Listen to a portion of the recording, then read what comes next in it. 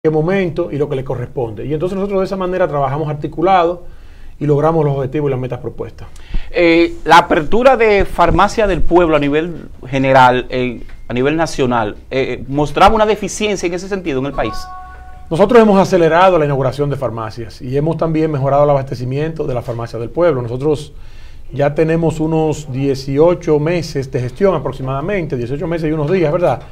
Y entonces en este tiempo, ya en este recorrido, hemos logrado inaugurar, entregarle al país 51 nuevas farmacias del pueblo. Es una cantidad significativa, importante, inédita en la historia de la institución, porque estamos inaugurando una, a razón de unas tres farmacias del pueblo por mes aproximadamente. Y ahora, próximamente, ya en unas semanas, el día 30 de este mes de marzo, Dios mediante, estaremos en la provincia de Valverde, también entregando tres nuevas farmacias del pueblo, en este caso en Los Quemados, en el cruce de Guayacanes, tres farmacias del pueblo para la provincia de Valverde, que con esas tres entonces se elevará a 54 nuevas farmacias entregadas en nuestra gestión. ¿Y cuál es el protocolo específicamente para abrir una farmacia del pueblo en una comunidad? O sea, las especificaciones. Nosotros estamos trabajando apegados a lo que establece la ley. Ok. Y entonces la ley nos indica que las farmacias del pueblo deben estar colocadas en los recintos públicos de salud, ya sea hospital público, unidad de atención primaria, centro de primer nivel, centro diagnóstico. Entonces nosotros estamos priorizando esos territorios que en la actualidad no disponen de un lugar para que las personas que residen allí puedan comprar medicamentos y entonces estamos ubicando cuáles son esas unidades de atención primaria que están en esos territorios y allí vamos y le llevamos entonces la farmacia del pueblo y completamos eh, digamos que el ciclo de la salud. Ahí está la, unidad de atención primaria que puede dar la prescripción, que puede hacer la evaluación médica de las personas y dar la atención en el caso de que fuese necesario. Y entonces también está la farmacia para darle su receta y ahí mismo con esa prescripción, bueno, poder adquirir los medicamentos. Entonces nosotros estamos impactando territorios rurales, fundamentalmente territorios rurales que no tienen acceso a medicamentos, porque es un programa y es una visión que lo que pretende, lo que procura fundamentalmente es garantizar acceso a medicamentos a aquellas poblaciones que no lo tienen en la actualidad. Porque nosotros sabemos que en los grandes centros urbanos, pues ya hay mucha farmacia privada, también hay farmacias del pueblo que han sido establecidas con anterioridad, y nosotros entonces tenemos que, con una visión de integralidad del territorio, de que todos los dominicanos, no importa dónde residan, no importa dónde nazcan, no importa dónde vivan, tienen las mismas oportunidades, tienen los mismos derechos, pues entonces nosotros estamos priorizando bajo ese criterio que los medicamentos le lleguen a esas comunidades apartadas que en la actualidad no disponían de una farmacia del pueblo. Y entonces así hemos impactado ya 51 territorios, con estas tres nuevas de la provincia de Valverde, pues serán 54. Yo te diría que el 90% de nuestras inauguraciones han ocurrido en lugares donde anteriormente había que desplazarse a unos 30 kilómetros, 25 kilómetros, 20 kilómetros, a unos 30, 40, 50 minutos de distancia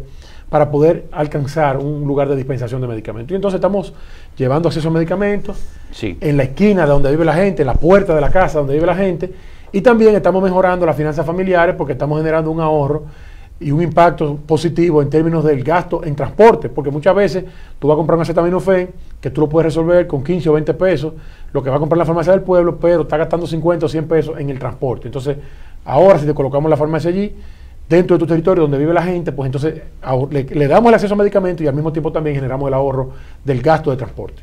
La inversión en, la inversión en cuanto a una apertura, una farmacia, ¿Ustedes la equipan o, o, o, el local, la estructura pertenece a la, al centro hospitalario? No, es una construcción, es una edificación que, ustedes que hay hace, una inversión.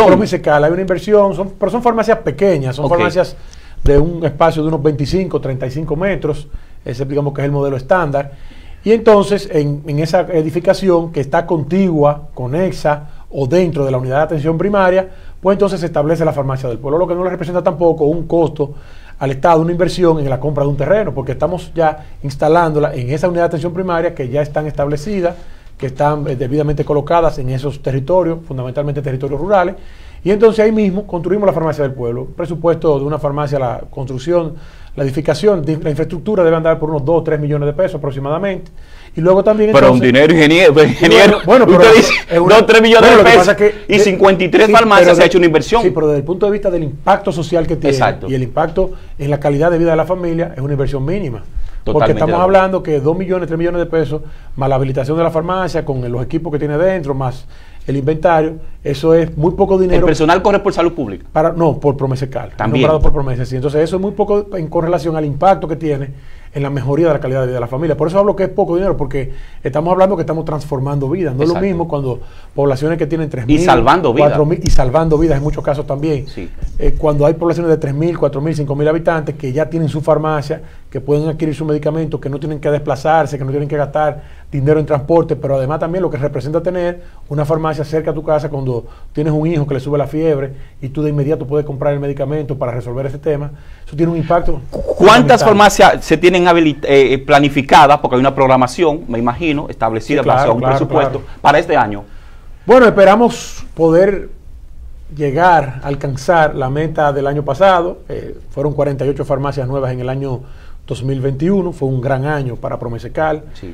Esperamos este año poder por lo menos igualar o superar esa cantidad. Estamos trabajando con una meta de 40, 50 nuevas farmacias, pero claro, va a depender de la disponibilidad presupuestaria de la institución, de las situaciones también fiscales del gobierno y todo lo demás, porque sabemos que cuando abrimos una farmacia hay que colocar personal, eso impacta en la nómina, aumenta el gasto de la nómina, aunque es un gasto de calidad porque es un gasto en salud. Estamos mejorando la calidad de vida de la gente a través de acceso a medicamentos de muy buena calidad, de bajo precio y con acceso oportuno y racional. Entonces, Vamos a trabajar con esa meta de 40, 50 nuevas farmacias. Yo lo que sí le puedo garantizar que en términos de infraestructura nosotros vamos a terminar esa farmacia y haremos todo lo posible para una vez culminada ya la parte de infraestructura física, pues entonces poder habilitarla y entregársela a las comunidades. Usted ha recibido muchas solicitudes de, la circunscripción número, número 5. De todo el Me país, imagino, sí, de todo el país. Me imagino que no puede haber privilegio, pero hay un cariñito especial para este lado.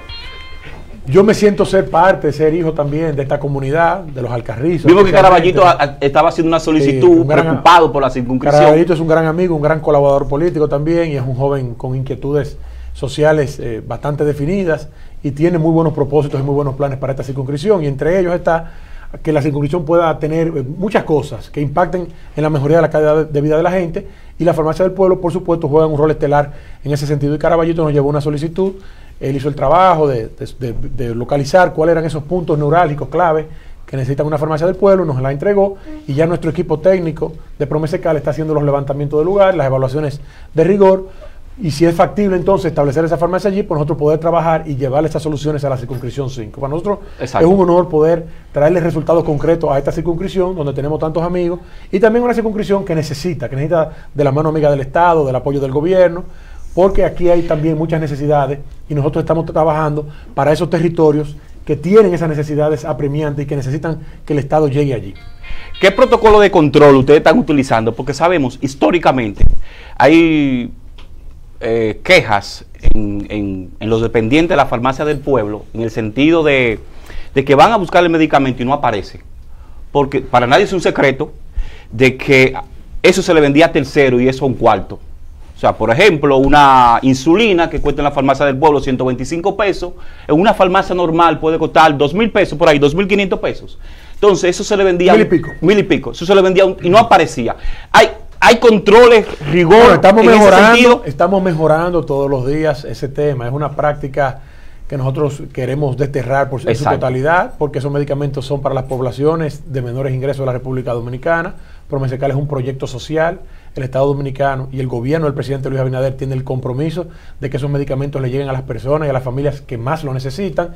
Y entonces nosotros estamos permanentemente monitoreando las ventas, conversando con nuestro personal, permanentemente también entrenando nuestros recursos humanos para garantizar de que las prácticas que se hagan dentro de la farmacia del pueblo estén siempre contenidas dentro de las mejores dentro del manual de procedimiento de la institución y dentro de, de las mejores prácticas para garantizar el acceso a medicamentos a la población más vulnerable. Entonces, eh, nosotros también tenemos previsto en el futuro, a través de la tecnología, y estamos ya en ese proceso de transición tecnológica, de poder garantizar a través de una implementación de tecnología que los medicamentos le lleguen efectivamente a la población que lo necesita. Nosotros podemos, que podamos personalizar, fidelizar la venta del medicamento con la persona que lo compra y entonces nosotros podemos tener un control y un monitoreo en tiempo real de saber quiénes son los que están comprando los medicamentos y revisar si efectivamente obedece al perfil al cual nosotros queremos impactar a través del, de Promesecal y que no se están utilizando entonces estos medicamentos para hacer negocio luego por la izquierda y ese tipo de cosas. En todo el sentido de la palabra. Ingeniero, los, hay, ha habido recientemente algunas quejas con los medicamentos de alto costo. Eh, en ese sentido, ¿qué usted puede decir? Bueno, lo primero es. Con el pie diabético. Sí. Lo primero es explicar la responsabilidad, el rol que tiene Promesecal con los medicamentos de alto costo. Nosotros, hay un departamento que es el programa de medicamentos de alto costo que pertenece al Ministerio de Salud Pública. Ellos son los que tienen la función de la dispensación, de establecer los programas. Ah, pero se le atribuye a ustedes eso. Bueno, porque nosotros desde Promesecal, el presidente emitió un decreto en febrero del año 2021 en el cual le traspasaba las compras de todos los medicamentos, insumos médicos y reactivos de laboratorio desde salud pública, desde el Ministerio de Salud Pública hasta Promesecal. Nosotros, nosotros tenemos la responsabilidad de comprar esos medicamentos y de honrar el compromiso de pago con los Ahí fue que se le hizo la asignación de 1.900 millones. Sí, bueno, este año mucho más de ahí, este año, el año pasado también, el año pasado compramos, compramos superior a los 3 mil millones de pesos de medicamentos de alto costo.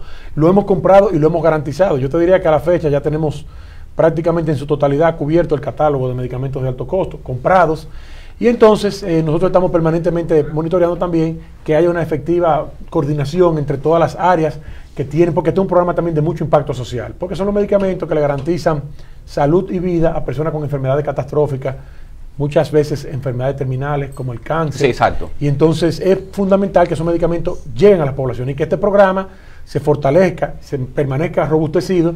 Y también el presidente de la República tiene especial interés y atención en que este tipo de programas se mantengan siempre funcionando de manera óptima, porque sabemos el impacto social que tienen y la necesidad que tiene la familia, ya que es muy difícil para una persona, incluso hasta de ingresos medios o hasta de ingresos altos, poder eh, comprar, eh, poder cubrir, costear el, tratamiento para enfermedades de esta naturaleza. Entonces, el medicamento, por ejemplo, que usted hace referencia del pie diabético, nosotros lo entregamos el día 7 de marzo y ya confirmamos que en el día de hoy el medicamento está disponible. En, ese, en este caso, en el hospital, donde se hace la dispensación, que es en el hospital. Sí, porque el día 6 una, salió una... No, la noticia salió, salió antes de ayer. Antes de ayer, exacto. Sin embargo, antes de ayer, ayer salió, ayer en la mañana, salió pública ayer en la mañana, sin embargo, ya nosotros habíamos entregado alto costo y ya nosotros pudimos confirmar hoy que ese medicamento está disponible en el hospital Moscoso Puello, que es donde se le da la dispensación a los pacientes. De manera que nosotros estamos cumpliendo con nuestro compromiso, estamos haciendo nuestro trabajo, le hemos ahorrado cientos de millones de pesos al Estado Dominicano en la compra de estos medicamentos a través de procesos transparentes, procesos diáfanos, procesos eficientes. Y ese es nuestro trabajo, comprar esos medicamentos. Entonces, claro. estamos mejorando también toda la logística y toda la planificación para que estos medicamentos no escaseen, para que no se interrumpa el suministro hacia los pacientes y para garantizar que todo el proceso sea fluido. Pero lo, que dicen que el procedimiento en cuanto a la compra y contratación es tedioso y a veces se complica y se retrasa. No, no, la ley es la ley y debemos cumplirla. La ley establece unos plazos, establece unos tiempos que no distinguen, que no discriminan entre la compra de bienes de, alguna naturaleza. Por ejemplo, comprar teléfonos celulares o comprar pantalla de televisión equivale al mismo plazo, al mismo procedimiento que comprar medicamentos, porque es compra de bienes igual. Entonces la ley está la, la, contratación de bienes, de obras y de servicios. La contratación de bienes de cualquier naturaleza tiene unos pasos, tiene unos procedimientos que conllevan unos tiempos que muchas veces es un largo recorrido. Y entonces nosotros estamos obligados a cumplir con lo que establece la ley. Y ahora esperamos que con esa modificación o con el estudio de, ese nuevo anteproyecto o proyecto de ley, porque ya está depositado en el Congreso, que hizo el presidente de la República el anuncio el 27 de febrero, bueno, esperamos que se pueda visualizar que para la compra de medicamentos, especialmente para medicamentos sobre los cuales reposa la vida de una persona o que pueden determinar la continuidad de la vida de una persona, pues existan mecanismos, existan procedimientos más expeditos que puedan garantizar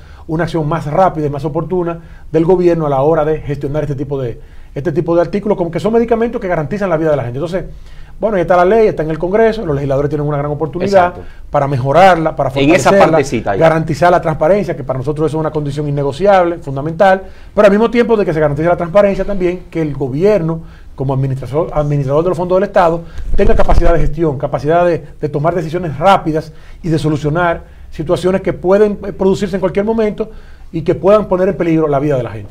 Cuando usted asumió la dirección, usted, usted, sabía que usted iba a coger pela en los campos, en Dajabón, en Bueno, nosotros tenemos muchos años en política y la verdad que esto lo hacemos por vocación. Y, nos, nos, gusta mucho el trabajo de servicio hacia la gente, lo hacemos con mucho amor, con mucha entrega. Y para nosotros, más que un sacrificio, digamos que lo hacemos con mucho entusiasmo. Es una razón más por la cual nosotros podemos sentirnos contentos todos los días porque estamos sirviéndole al país. La verdad que es un trabajo intenso, un trabajo fuerte, un trabajo de todos los días. Sobre todo nos tocó la parte más difícil, más dura de la pandemia. Cuando nosotros llegamos a la institución encontramos, eh, bueno, no me gusta hablar mucho del pasado, pero encontramos muchas precariedades, muchas debilidades, eh, muchos obstáculos en el camino que no pensamos que las cosas se manejaban de esa manera, se pudieron haber manejado de esa manera. Sin embargo, hemos dado pasos ciertos, concretos, apoyados en ese gran equipo que te decía al inicio, del cual también hay personas de aquí, del municipio de Los Alcarrizos, que nos acompañan en la gestión y que nos han ayudado bastante y nos han apoyado bastante a, lograr esos, esos objetivos tangibles que le hemos podido entregar al pueblo dominicano. Y entonces, bueno, hemos estado trabajando de, de manera, eh, digamos que entregados en cuerpo y alma a la gestión. Entregados en cuerpo y alma porque nos tocó el año de la pandemia, el año 2021, el año 2020, la, la última parte del año Sí, claro. 2020 y también la primera parte del año Del 2021, 2021. digamos que hasta Que septiembre. fue difícil. Fue muy intenso, Fue fue, muy intenso. intenso. En fue cuanto una- la pandemia. Una jornada así extenuante, porque la pandemia presentaba retos todos los días de ocupación hospitalaria, saturación de hospi- hospitales, el tema del- de una alta demanda también de medicamentos, los medicamentos orientados no solo a las enfermedades cotidianas, sino también al combate del COVID-19. Y bueno, el trabajo, ahí están los números, ahí están los resultados. Se hizo un trabajo que la República Dominicana puede exhibir hoy una de las tasas de mortalidad o la tasa de mortalidad más baja a nivel mundial por consecuencia del COVID-19. Y obviamente esos números son el reflejo de un trabajo que se hizo. Exacto. Ingeniero, usted pertenece a la estructura del PRM. Usted acaba de decir, yo soy político, he andado el país. Yo soy vicepresidente del partido. Exacto, eso le iba a preguntar, Sí. ¿qué, qué condición usted tiene en el partido? Soy vicepresidente nacional del partido, electo en la convención del año 2018. Ok, la modalidad de la selección de delegado, eh, ¿usted está de acuerdo con eso? El partido hizo una reforma estatutaria y los propios estatutos establecen cómo se modifican. Basado en lo que establecen los propios estatutos, bueno, pues se ha realizado una modificación estatutaria que ahora va a ser refrendada este viernes a través del Comité Nacional, del cual también somos miembros en nuestra calidad de vicepresidente nacional. Y se, bueno, lo que si los estatutos se están cumpliendo, no hay ninguna razón por la cual alterarse ni alarmarse. Lo importante es que todo se haga dentro del marco de la ley. Pero, Y además es el resultado del consenso de todo el liderazgo del partido. pero usted acaba de decir que se, que se modificaron los estatutos. Sí, los estatutos se pueden modificar. Siempre y cuando se hagan dentro de lo que establecen ellos mismos, pues no pasa nada. Porque las leyes no son inmutables, las leyes no están escritas en piedra, no son permanentes en el tiempo. Las leyes se pueden actualizar, se pueden corregir, se pueden mejorar a partir de los intereses. Y los partidos políticos, como tal, pues, pues tienen el derecho, los dirigentes de un partido político, de ponerse de acuerdo y modificar sus estatutos y acoplarlos a las demandas del siglo XXI. Lo que hemos hecho nosotros es mejorarlos, actualizarlos y también, digamos que ponerlos en sintonía con las nuevas leyes que se, que se aprobaron con posterioridad a los estatutos del Partido Revolucionario Moderno, como la ley de partido político, el régimen, El electoral, régimen electoral. Y entonces hacía falta actualizar para que nuestros esta- estatutos estuvieran en, en sintonía, en coordinación bien, eh, bien directa y estrecha con el nuevo marco jurídico que rige toda la normativa partidaria. Pero se veía un PRM como, como, como orgánico, estructuralmente bien, bien hecho en ese sentido, disciplinario, pero hay como disidentes y esa voz, voces causan ruido. ¿No es preocupante eso? No, no es preocupante porque las críticas siempre son interesantes y hasta oportunas, diría yo, porque te enseñan, te ponen de manifiesto la otra cara de la moneda y entonces enriquecen el debate y la democracia se fortalece cuando hay muchas voces, sobre todo voces disidentes, eso es democracia. Pero con declaraciones no- como Franklin García Fermín que dice, no, lo que están hablando no representan nada no, porque no, no. estuvieron en el partido. No, yo- eso trae como un problemita, ¿no? yo lo que te puedo decir es que la, la disidencia es propia de las democracias. En los países donde hay pensamiento único son en los regímenes, en los regímenes totalitarios. Solamente en los totalitarismos la gente piensa igual y el que no piensa igual paga las consecuencias de una manera muy severa. Sin embargo, en las democracias está permitido disentir, Claro. pensar diferente, pensar distinto. Eso enriquece el debate político, fortalece la democracia. Lo importante es que el liderazgo mayor del partido, el liderazgo trascendente del partido, el liderazgo que representa a la mayoría de la voluntad de los PRMistas, está debidamente de acuerdo, armónico en este proceso y no veo ninguna situación, ninguna circunstancia para poder decir que hay un problema, ni, ni- ni siquiera... Pero una digamos, un instancia problema ante el. Tribunal Superior Electoral no podría retrasar el proceso y causar dificultades. Es que no me parece porque todos hechos se está haciendo todo conforme a la ley. Entonces todo se está haciendo conforme a la ley. Además está la voluntad política del máxima, de la máxima dirección, del máximo liderazgo del partido para echar el partido a andar. Nosotros necesitamos poner este partido en condiciones del siglo XXI y es lo que se ha hecho con esta reforma estatutaria. Además también eh, tenemos una coyuntura ahora internacional y una coyuntura local que amerita que como los liderazgos del partido somos los principales funcionarios del gobierno, por ejemplo, yo soy vicepresidente nacional del partido y soy también director de promesa. Entonces, Sí. nuestras energías en este momento deben estar orientadas a mejorar el país, a trabajar en beneficio de la gente, a mejorar nuestras instituciones, a aumentar la calidad del gobierno en función de los resultados hacia la gente. En eso nosotros tenemos que estar ahora. Nosotros, este no es tiempo para estar ahora en discusiones, digamos, de carácter partidario. Las discusiones fundamentales que la República Dominicana nos demanda a nosotros hoy son las que tienen que ver con la calidad de vida de la gente, con mejorar el tema del costo de la vida, con garantizar mayores empleos, con la superación definitiva de la pandemia, que ya estamos prácticamente culminándola. Entonces, En eso es que debemos estar nosotros y nosotros ahora cualquier otra cosa sería una distracción que definitivamente no, es, no va acorde con la visión del presidente Luis Abinader, que es trabajar en beneficio de la gente. Eso le iba a preguntar. Eh, se dice que el presidente Luis Abinader lleva 5, 6, 7 pasos a sus funcionarios y como que no están en sintonía. Hay excepciones, no lo podemos negar. Eh, su opinión en ese sentido. Bueno, el presidente Luis Abinader es nuestro líder y como líder de la nación también, y no nos equivocamos en elegirlo porque la verdad que le ha tocado una situación bastante complicada, primero con el tema de la pandemia del COVID-19, ahora con la guerra de Rusia y Ucrania, y bueno, pero Dios nunca abandona a sus hijos, dice el profeta Jeremías, y precisamente gracias a esa voluntad de Dios tuvimos un presidente a la altura de las circunstancias. ¿Qué hubiese sido de la República Dominicana si le hubiese tocado otro mandatario en una coyuntura tan difícil como la que ha tenido que trabajar Luis Abinader? ¿Qué hubiese sido de nuestro país si el gobierno de la República Dominicana no hubiese sido liderado por una persona de la calidad técnica, moral y de las condiciones que tiene el presidente Luis Abinader. O sea, entonces nosotros, el presidente obviamente es el más aventajado de todos, porque el presidente tiene un nivel, una visión que le permite tomar decisiones, además una capacidad de trabajo que es prácticamente inalcanzable. Sin embargo, nosotros estamos trabajando todos los días también para lograr ir a tono con el presidente, con esa visión que él tiene, con, con el deseo que él tiene en echar hacia adelante la República Dominicana, pues nosotros luchamos de manera decidida también para estar siempre a su lado y garantizar que esos objetivos que él se propone se puedan materializar a través de nosotros, que somos sus servidores, que somos los que componemos el gobierno que él preside. Totalmente de acuerdo. A nivel municipal, una... Ah, los mensajes. Ah, que lea los mensajes que están aquí. Me están diciendo, sí, muchas personas en sintonía con usted. Hemos Aquí está, vamos a ver, muchas personas en sintonía con usted. Eso lo hace el invitado, ¿verdad? El invitado que tenemos, ¿verdad, Carabellita? Tenemos a Dinora Reynosa en sintonía, Rafael Reyes Ramírez, así es. Eh, tenemos a Elvis Abinader, mi líder, Stanley Rodríguez en sintonía, Malte Herrera con Adolfo, Rafael Reyes Ramírez, el mejor director del gobierno, licenciada Los Besis, Celado Mejía, excelente ser humano, eh, aquí está Sandro Sánchez en sintonía, aquí está Dinora en sintonía, que también mucha gente en sintonía, no lo podemos decir todo. Eh, ingeniero, sí. A nivel municipal, aquí en el municipio de Sacarse, usted fue una, persona fundamental en el proceso. Eh, la alcaldía, usted podría decir o hablar aquí sobre el, alcalde Cristian Encarnación si buscara una, una postulación a la alcaldía otra vez. Bueno, yo creo que... ¿Yo apoyaría ese proyecto? Yo soy un colaborador permanente de Cristian Encarnación y siento que él va mejorando de manera sostenida su gestión.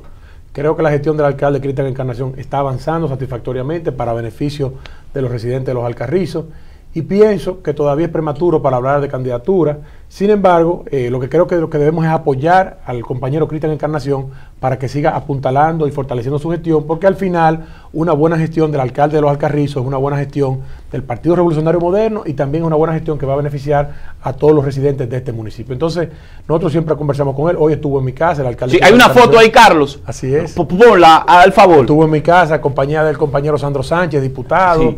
Estuvo la regidora Belgin. ¿Qué estaban amarrando en su casa? Den una primicia aquí. Estuvimos o, se estaban viendo un café. un café se fueron a beber. Estuvimos hablando del, del problema que se resolvió en Grandes Ligas, del béisbol. Oh. un café. Había un problema que no, que no se ponían de acuerdo los jugadores con la asociación. Y entonces estuvimos hablando de béisbol. Totalmente. no, estuvimos hablando de política, como debe ser. Estuvimos hablando de política, analizando la política local, la política nacional. Y vienen buenas noticias para los alcarrizos. El alcalde nos estuvo explicando los proyectos que tiene en carpeta para el municipio de Los Alcarrizos, proyectos muy interesantes, de alto impacto, que van a beneficiar. Pero usted está consciente que hay cierta división a nivel partidario, en ese sentido. Bueno, nosotros en ese sentido lo que podemos trabajar es para la unidad del partido aquí. En aquel momento yo fui un factor de unidad, cuando la candidatura del alcalde Cristian Encarnación, en ese momento el candidato, pues nosotros fuimos un factor de unidad que apoyamos, lo apoyamos a él, a todos los regidores, y a, los diputados, de manera que se lograra una victoria resonante, tanto de la alcaldía como del presidente Luis Abinader, y afortunadamente así ocurrió. Y en este caso lo que podemos ponernos a disposición también para nuevamente ser, si se nos requiere, por supuesto, y así lo consideran, un factor de unidad, de equilibrio, para que toda la fuerza del partido pues transiten el mismo camino, porque necesitamos, para poder retener lo que hemos logrado, que el partido se mantenga totalmente unido. Entonces, esa victoria del alcalde Cristian Encarnación se logró en aquel momento por la unidad absoluta del Partido Revolucionario Moderno.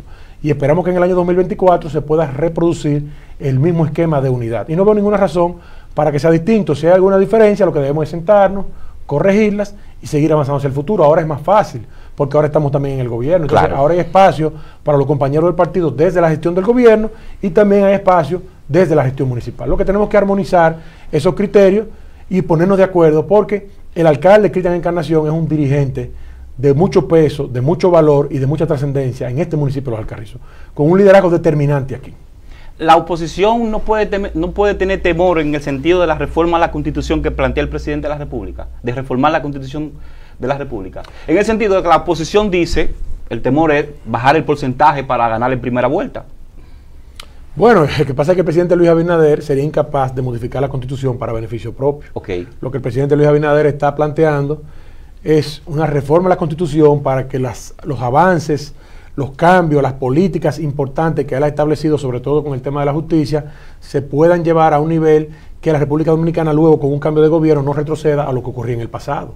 De lo que se trata es de darle certidumbre hacia el porvenir a las conquistas que hemos logrado en este gobierno. De eso que se trata lo que el presidente Luis Abinader ha propuesto. Lo que pasa es que otros actores que sí han modificado la constitución con fines puramente electorales para beneficiarse de manera personal o beneficiar a un grupo, pues quizá pudieran pensar que los mismos planes que ellos tuvieron en el pasado pues pudieran replicarse en el futuro. Y eso es entendible. Eh, tenemos un video ahí, Carlos. Vamos a poner un pequeño video para que usted me dé su opinión sobre esa persona que estuvo aquí la semana pasada.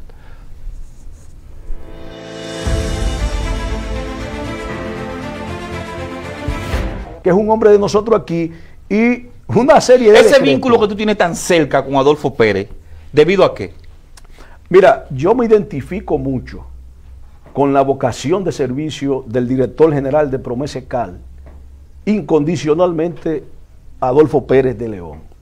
Yo veo en él un hombre preocupado por el, las mejores condiciones de vida de los dominicanos, un hombre sensible ante el sufrimiento ajeno y un hombre auténtico, un hombre transparente, un hombre de una gran capacidad intelectual, ¿eh? Sí. Adolfo Pérez. De una gran, pero también de una gran capacidad, yo diría, en términos de servir a la nación. Entonces, yo recorro el país con Adolfo Pérez y conozco por ese tipo de situación a dónde es que él está llevando. Bueno, ese es eh, Ahí está su amigo. Galán, Galán, eh, Luis José Galán. Luis José Galán, que es un gran colaborador. Estuvo aquí en exclusión, me dijo, yo no di entrevista. Me dijo, me dijo José. A él le gusta hacer Sí, entrevistas. así mismo. Bueno, Te la Galán- voy a dar tipo, yo no Es- sé por Es un qué. excelente ser humano, un gran colaborador y es una persona que nosotros eh, apreciamos, respetamos y valoramos mucho. Galán dijo en esa entrevista algo muy importante. Dijo Sí. que entre Adolfo Pérez y el Moreno, Cristian Encarnación, había un matrimonio sin divorcio. Y yo ratifico que Galán tiene razón. Eso es así. Entonces, Galán es una persona que nos conoce bastante bien porque nos está acompañando en las inauguraciones de farmacias del pueblo. Le ha tocado recorrer el país con nosotros en esa siembra de farmacia que nosotros hemos desarrollado. Y ahí entonces, en esas largas jornadas de trabajo y ese transitar hacia los campos de la República Dominicana, pues también se producen conversaciones, hablamos de la política, de la vida, y bueno, llegamos a conocernos mejor. Y entonces, Galán, bueno, le enviamos un gran saludo por aquí y agradecemos mucho las palabras que tuvo para nosotros. Usted no tiene ninguna aspiraciones a un cargo electivo por el momento. Por el momento mis aspiraciones son que el presidente Luis Abinader continúe desarrollando la magnífica gestión de gobierno y ayudarlo cada día más desde mi ámbito, desde mi puesto de responsabilidad, desde Promesecal, ayudarlo a que el gobierno también siga avanzando de manera satisfactoria. Esa es nuestra responsabilidad, ese es nuestro compromiso. Esa es la visión que tenemos en el momento. Ya más adelante las circunstancias y la coyuntura dirá. Los políticos no podemos decir de esta agua no beberé. Somos, decía Balaguer, que somos víctimas de las circunstancias, ¿verdad? Eh, y entonces estamos expuestos siempre a, a lo que diga el porvenir y sobre todo si la gente quiere, eh, bueno, verte en una posición. Sin embargo, en esta coyuntura que vive el país ahora y que vive el mundo, yo creo que lo más importante es nosotros con los pies en la tierra, dedicarnos a trabajar para mejorar el gobierno. El gobierno debe, que marcha muy bien, debo decirlo, pero se puede mejorar cada día más con el esfuerzo, el entusiasmo de nosotros, los compañeros que, que estamos, eh, que estamos ahí en el tren con el presidente Luis Abinader. Entonces, de lo que se trata en esta parte de eso, es trabajar eficientemente, con energía, con emoción, con entrega, con sinceridad, con las puertas abiertas, con las puertas abiertas para la militancia de nuestro partido, que, que nos ayudó a construir esta victoria, o que construyó conjuntamente con nosotros esta victoria, y las puertas abiertas también para todo el pueblo dominicano, para todos los ciudadanos, porque nosotros no somos funcionarios solamente del PRM, sino que somos funcionarios, servidores públicos de todos los ciudadanos de todo el país. Entonces, yo creo que con esa visión, con esa mirada debemos transitar hacia el porvenir y luego entonces ya más adelante se definirá cualquier tipo de aspiración. La aspiración debe ser una consecuencia de un trabajo que realicemos en favor de la gente. La aspiración no puede ser una imposición de la voluntad unipersonal o una obsesión particular que tengamos cada uno de nosotros. Se le atribuye un Twitter a usted la semana pasada, en- ahora que acaba de mencionar a Joaquín Balaguer. ¿Usted se refiere específicamente a la convención de delegados o a la presidencia de la República? No, el tema que está en debate ahora es el tema partidario. Ok, El perfecto. partidario. Todo el mundo lo entendió, que El específicamente partidario. era sobre ese tema. Sí, sabe que me, me- me cuestionaron mucho porque realmente Balaguer nunca ha sido un paradigma ni un líder. Nosotros venimos de la escuela del doctor José Francisco Peña Gómez. Sin embargo, desde el punto de vista del ejercicio del poder y de cómo conseguirlo y mantenerse en él, evidentemente.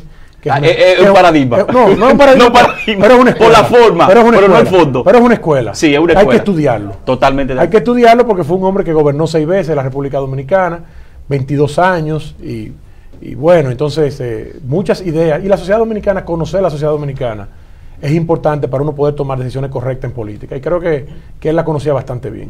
Ingeniero, para mí ha sido un placer. Eh, vamos a permitirle algún mensaje que usted se despida o alguna opinión en sentido general. Darte las gracias, Israel, por esta conversación global que hemos tenido en esta noche. Para mí, como siempre, es un honor venir aquí a Los Alcarrizos, a este municipio, a esta circunscripción 5, y estar en compañía de tanta gente que me quiere, que me estima. Sí, el estudio está lleno. La Primera vez. vez. Ah, oh, mira, aquí está Fidel, está mi amigo Burgos. Burgos, Raúl Burgos. ¿Quién más está ahí? Eh, Ahí hay muchos compañeros. Milletti, ¿dónde está. Milletti? Ah, Milletti, perdón. Eh, Burgos también está ahí, muchísima gente. No, no lo voy a mencionar él, no. Bueno, está Dinora. Está nuestro hermano Ahí, hay muchos compañeros. Caraballito. Caraballito. ¿Quién está aquí por primera vez? Que de línea, Ignora. ¿Quiénes más están aquí? Bueno, mucha gente, ingeniero. Son compañeros a los cuales le tengo mucho aprecio, mucho cariño y le agradezco bastante también la actitud siempre de colaboración que tienen hacia mi persona y hacia los proyectos políticos que yo emprendo. Entonces, estas son gente de, de mi confianza, de mi cariño y por eso cuando yo vengo aquí me siento en mi casa. Muchísimas gracias por la invitación. Siéntese en su casa y este espacio está a la disposición. Muchísimas gracias. Regresamos el jueves. Tenemos a la Pop y Milta Pérez. Conversación Global.